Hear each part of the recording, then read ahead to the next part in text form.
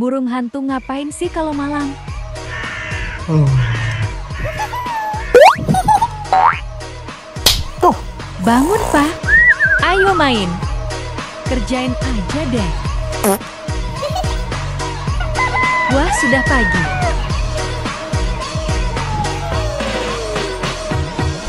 Gantian, gantian.